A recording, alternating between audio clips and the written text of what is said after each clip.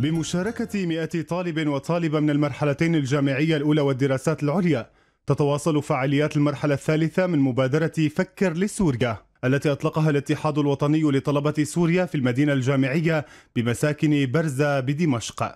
اليوم نحن موجودين بمبادرة فكر لسوريا المرحلة الثالثة.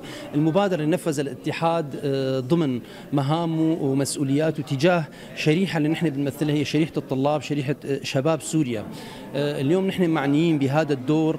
لحتى نحن كشباب سوريا ما نكتفي فقط بموضوع نحن نطرح المشاكل وإنما نحن بنفكر سوا وبنطرح الأفكار ونبني على أفكار بعض لحتى نوصف مشاكلنا بشكل صحيح وبنفس الوقت نروح بإيجاد حلول لهي المشاكل.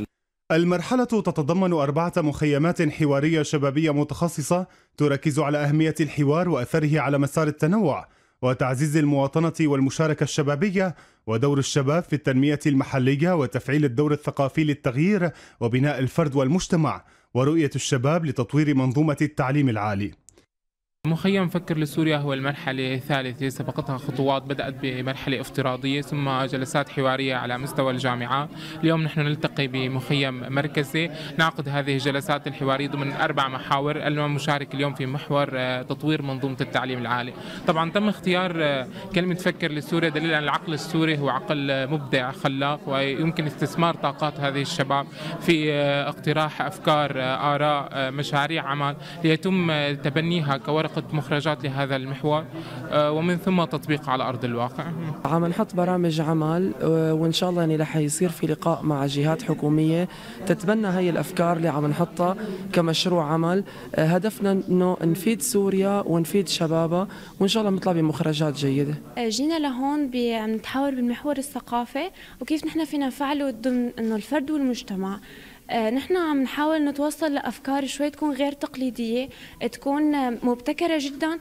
كرمال نحن نقدر نأثر بالمجتمع بشكل عام.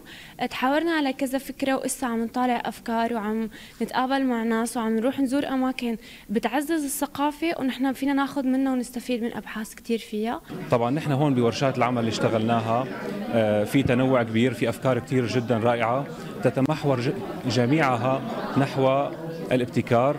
نحو آه، التنمية المستدامة نحو تأمين فرص عمل غير تقليدية. مبادرة فكر لسوريا تهدف إلى فتح حوار الأفكار بين السوريين لتطويرها وتنفيذ الممكن منها والعمل عليها.